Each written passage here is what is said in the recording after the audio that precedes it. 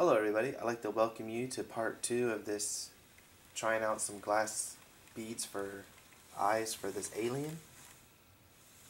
Give you a little look.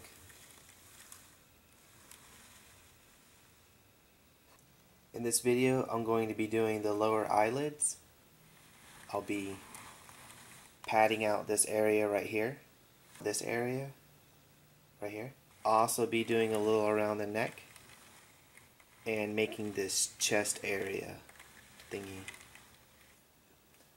Starting this off, I wanted to do something with the bottom eyelids. Uh, I only made the top ones in the last video and I wanted to you know fill in the it was a bit shallow on the outer edge of the eyes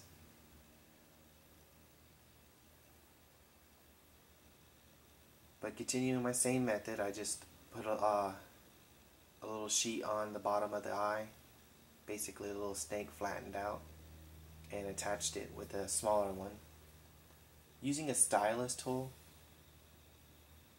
I just got these, uh, a pack of stylus tools, and I've seen other people use them. I've been wanting to give them a try, and I'm trying to break free from just using my thumbs for everything but if you noticed, I, I use my thumbs a lot when I sculpt, especially for smoothing and stuff. I, mean, I don't know if that's bad or whatever. I don't know if it's cheating or if you have to have a tool in your hand the whole time, but I use my fingers a lot. See now I'm patting out the back of the head right there, making it a little thicker at the bottom I get it all really, really close.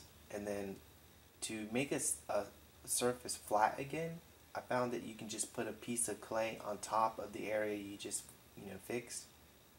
And it kind of gives you a level flat area again. Neat little trick, you know, it helps for padding out areas uh, thicker.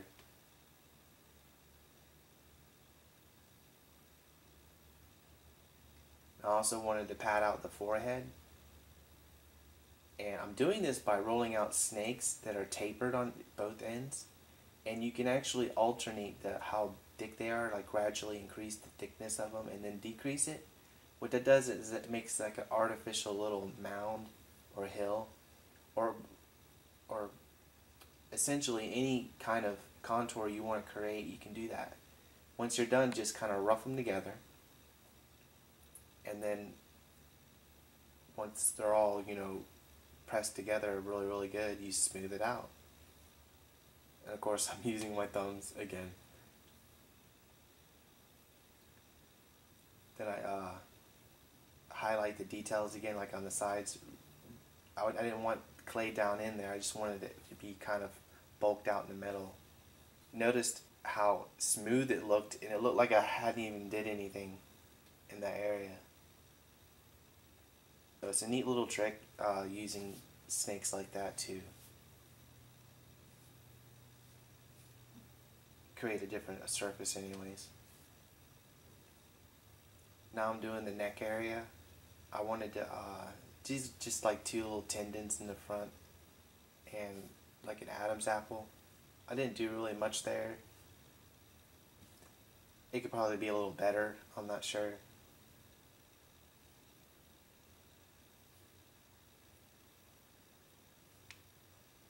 but I definitely had to do something there.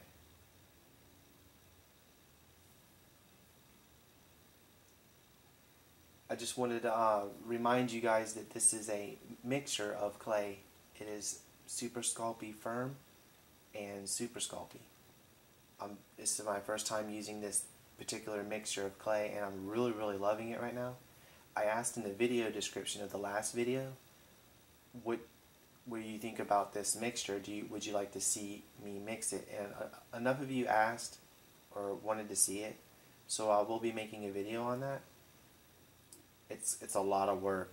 It's it's going to be a lot of work mixing. Uh, basically, I'm going to mix a pound of Super Sculpey with a pound of Super Sculpey Firm to create a two pound mixture of the both.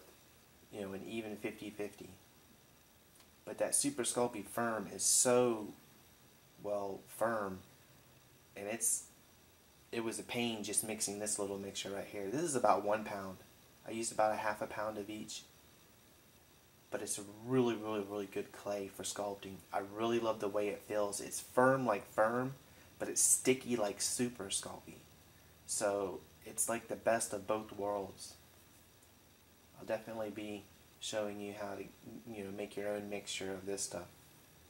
Because I'll probably be using this from now on, from here on out. I'll just buy, you know, multiple boxes of each kind.